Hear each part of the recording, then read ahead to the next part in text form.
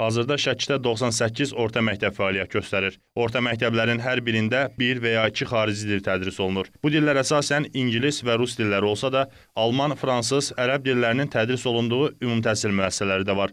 Lakin 10 il əvvəllə müqayisədə alman və fransız dilini xarici dil kimi seçən məktəblərin sayı azalır.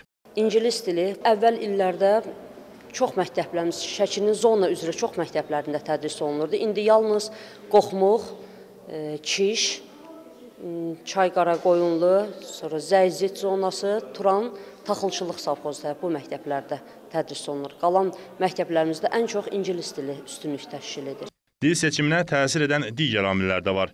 Buna səbəblərdən biri də onları ali məktəblərdə gözləyən çətinliklərdir. Belə ki, qəbul imtahanlarında orta məktəbdə öyrənilən xarici dildən imtahan verənlər ali məktəbdə başqa, əsasən də rus və ingilis dillərini mənimsəməli olurlar.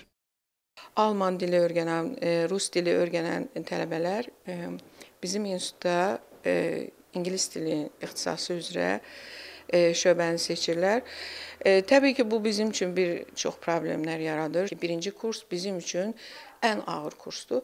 Amma növbəti e, illərdə artıq bu çətinlik üstündən, öhdəsindən gəlmək mümkün olur. Çünki e, valideynlər e, evladları üçün əlavə müəllimlər də tutma imkanı olan insanlar bu fürsətdən də istifadə edirlər ki, yəni o gəlib bizim tələbələrə çatsın. Çox sayda xarici dil öyrənmək nə qədər önəmli və üstün olsa da, heç də hər kəs bunun öhdəsindən müvəffəqiyyətlə gələ bilmir. Ona görə də valideynlər uşaqlarının dil seçiminə həssaslıqla yanaşırlar birinci sinifdən qəbul olunan xarici dil yuxarı siniflərdə dəyişdirilmir. Dəyişdirilməsi qadağandır. Ona görə də hal-hazırda bizim məktəbimizdə bir də 10-cu sinifdə alman dili, 11-ci sinifdə rus dili və fransız dili və aşağı siniflərdən 1-ci sinifdən 9-cu sinifə kimi də ingilis dili keçirirlər. Bunlar hamısı valideynlərin istəyi ilə tətbiq olunmuşdur. Ona görə də burada fransız dili, ingilis dili və rus dili təxirə düşəcəkdir. Növbəti dərs üçün birinci sinifə qəbul zamanı valideyn ərizə yazır. O ərizədə xarici dilin seçimi qeyd olunur ki, mənim övladım üçün hansı xarici dil seçilsin. Əksəriyyət halda bunlar ingilis dili olur. Bu il inanmıram ki, alman dili tədris olunsun. Çünki ərizə verənlərin içərisində 70 nəfərə yaxın ərizə verən var. Hamısı ingilis dilini seçib, 3 nəfərdən başqa. Nəticədə şagird çatışmazlığından məktəblərdə fransız və alman dilli siniflər formalaşa bilmir. Belə olan halda alman və fransız dili müəllimləri işsizlik problemi ilə üz-üzə qalır. ki, ingilis dili bəzilərinin iki ixtisası var, onlar işləyə bilirlər, amma əksəriyyəti işsiz qalırlar. Yalnız o müəllimlər yox, o fakultə, Alman dili fakültəsini qurtaran tələbələrin əksəriyyəti işsiz qalır. Şəxsən mənim özümün yetişdiyim tələbələr arasında var elələri. Onlar sonra iş tapmaqda çətinlik çəkirlər. Alman, fransız, rus dili kimi müəllimlik ixtisas alanlar da eyni problemlə qarşılaşırlar. Təxminən 5-10 il qabaq da bu problem var idi. Ancaq indi daha da kəskinləşməyə başlayıb. Çünki orta məktəblərdə belə deyək, həmin alman dili üzrə təhsil alan şagirdlərin sayı da azalır.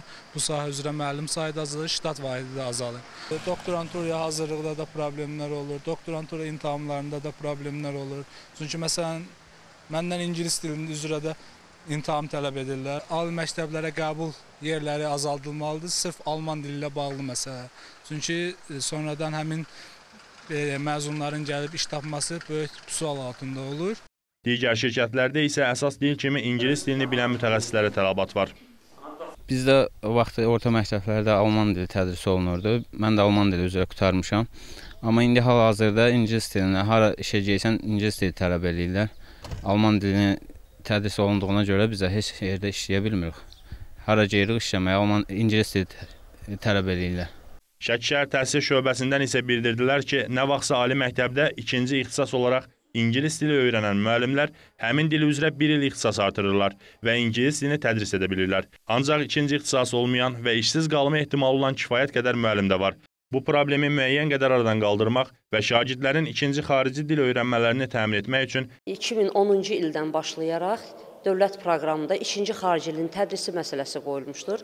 Artıq həmin şagirdlər 5-ci sinifdən başlayaraq ingilis dili ilə yanaşı ikinci xarici dil olaraq arzularından asılı olaraq, valideynlərinin özlərinin arzusundan asılı olaraq rus dili, fransız dili, alman dili ixtisaslarını seçirlər.